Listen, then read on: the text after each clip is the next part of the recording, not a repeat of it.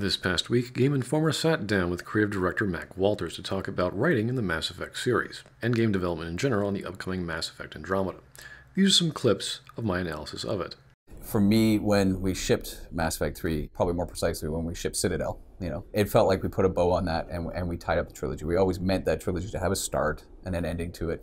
I think it's fair to say we didn't, the ending didn't go the way we wanted, but you know, ultimately it was an ending and it does feel like that is a sort of complete package. If by a complete package you mean having a ridiculous tongue in cheek side mission that tries to obfuscate the colossal galaxy breaking black hole ending of a series, turning your greatest fans against you, then yeah, that would be the complete package. This in turn forced you to do a soft reboot because of said black hole you painted the entire series into.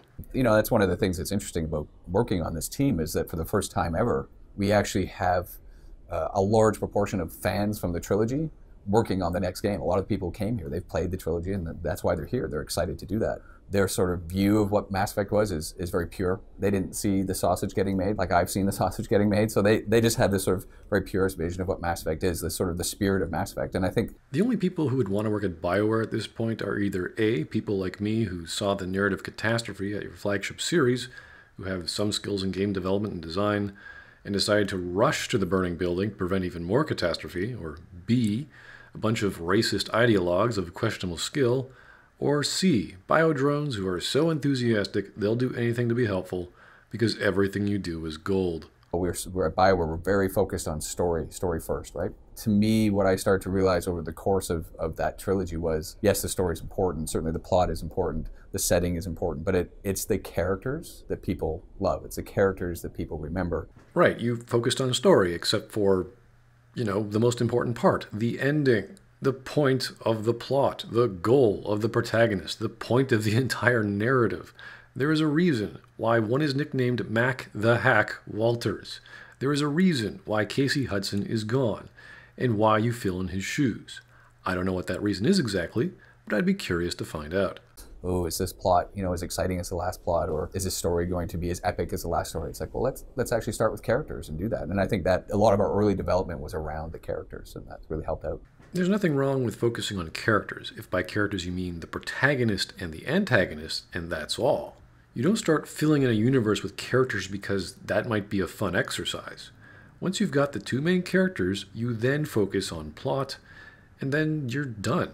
Everything else is an extension of the two main characters and their plot. Secondary characters are secondary what are the lessons? What are the takeaways then? Like, how do you take that broad thought and boil it down to these are the keys to making good characters?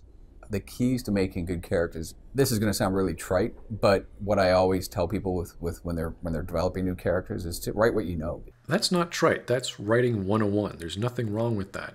It's not exactly the ingenious, profound answer I was looking for from a writer who's now a creative director in a company that focuses primarily on writing, but it's not wrong. It's just not impressing me, and I doubt it's a motivation for the actual writers on the project. Characters more now than ever. Like when you look at how they, you know, come across in Frostbite, they look amazing, right? How a character looks is largely irrelevant to their characterization, unless you're going to get into specific acting or stage directions.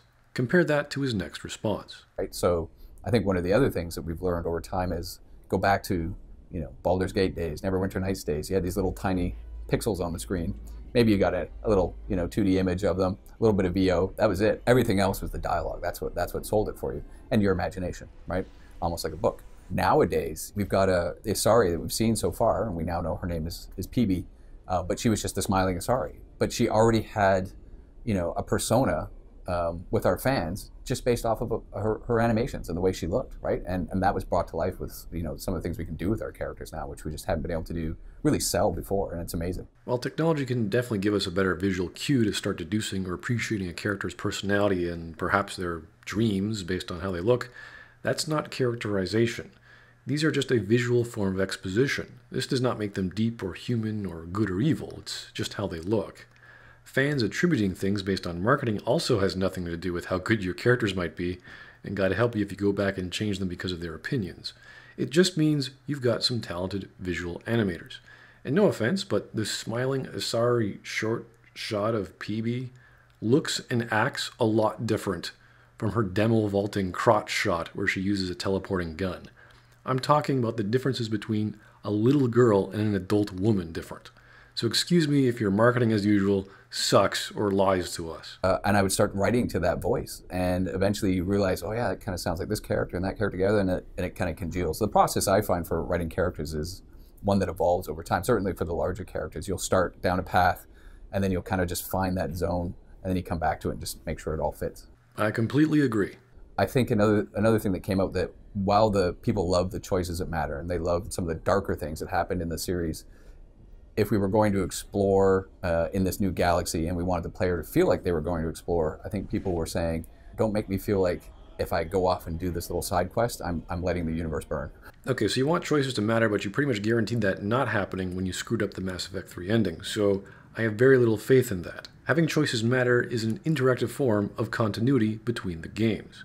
This was also screwed up. And this is, I think, their greatest quality in a franchise, and that's just now gone. You know, where's Garrus? Where's my choices? Where's the stuff that personally matters to me?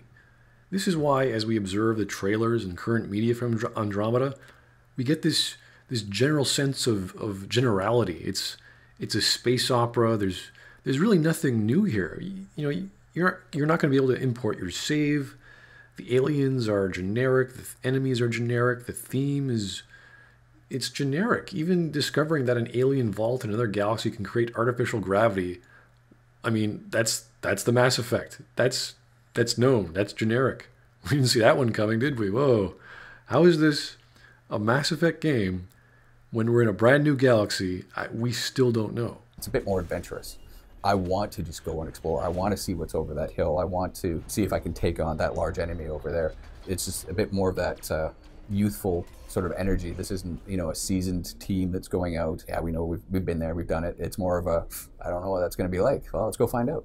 This I agree with. Uh, this was in the spirit of the sense of adventure in Mass Effect 1. You just take your space dune buggy and you explore.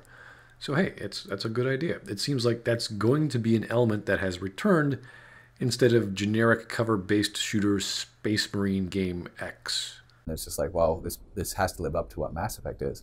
And honestly, the the best thing I can offer them is is I just say, look, I'm not going to let this not feel like Mass Effect. You know, I was there, and there's other people on this team who are there, and we can look to those people and say, can you help guide us and make sure we don't go off the rails? But in the meantime, just let your imaginations run wild. And it's difficult. You know, Mass Effect is highly critically acclaimed. It's our fans, you know, obviously care deeply about it. We don't want to um, screw it up. But the other thing is, we've never succeeded by by worrying about that in a negative way we've always succeeded at that by saying, look, let's just do you know the best that we can with what we've got and tell the most amazing stories, give them the best player experiences that we can.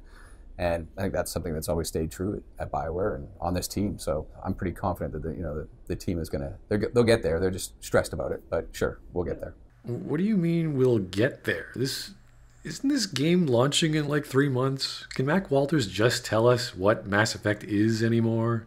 It's definitely not the setting since we're not in the Milky Way anymore. It's definitely not the characters, they're all dead. So, where and what is the continuity? What's the same? Is, is it a space opera amidst an epic story about saving the galaxy? There's, there's no more renegade Paragon points, so what is it exactly? This is just me being curious here, but I still have that soul destroying ending problem to remind myself how bad this fellow and the last product screwed up beyond reason. Mass Effect so far has been a gigantic lie that started beautifully and ended in narrative destruction. Until this guy and his next project can prove otherwise, that's what it's going to be. Is there a message you want to convey to fans? Something you feel like they're worried about that you want to drive home? Yeah, well, I don't know if there's something specific that fans are worried about, but. I just have three continuous questions. Did you write the ending first before you wrote the story? And if this is your next series of stories, did you write the ending to all of those? Because if you didn't, can you guess what's going to happen again? Well, I know what the answer to that is. I'm sure you guys have different opinions. So please tell me what you think is going to happen again in Mass Effect Andromeda.